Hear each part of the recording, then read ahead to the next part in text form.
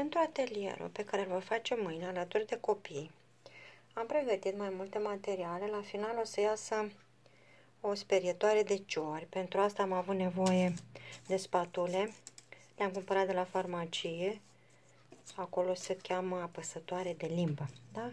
5 mai mari și una mai mică. Am găsit-o la Jumbo, dar aveau doar un singur set și copiii fiind atât de mulți nu mi-ar fi ajuns. Sunt 100 de bucăți într-o cutiuță.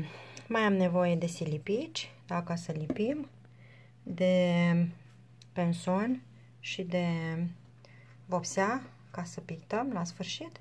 Și aici de niște cânepă. Am folosit o cânepă, cu toate că mi-ar fi trebuit niște rafie. Însă nu am reușit să găsesc. După ce copiii vor da cu lipici uh, acest cartonaș, da, vor veni și vor pune, vor lipi bețișoarele unul lângă altul, cele 5 bețișoare, după care, după ce le lipesc, după ce le lipesc, iau din rafie câteva fire asta am să le pregătesc eu pentru că ei nu pot, nu au cum, trebuie pregătite materialele, că e destul de complicat cu 29 de copii. Și le vor pune așa, lângă de o parte și de alta, semnificând părul acestei sperietori de ciori. Deci, într-o parte punem așa, eu am lipit pe mână și nu prea așa, și după aia punem și în partea cealaltă.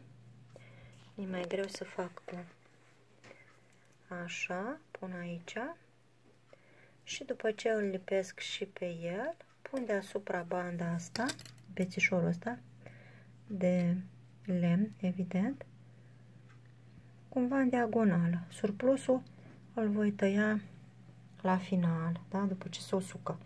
După, îl, și îl las la uscat. Îl las la uscat, am făcut o probă eu aici. Arată așa.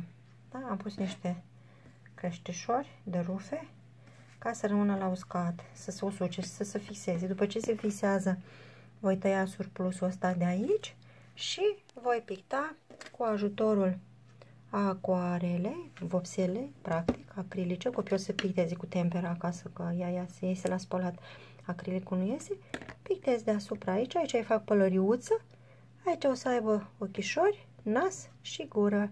Și va fi gata sperietoarea noastră de ciori, pentru că tot e evaluare la toamnă și atunci am făcut o sperietoare de ciori ca să alunge ciorile din livada cu fructe. Revin la final să vă arăt ce a ieșit.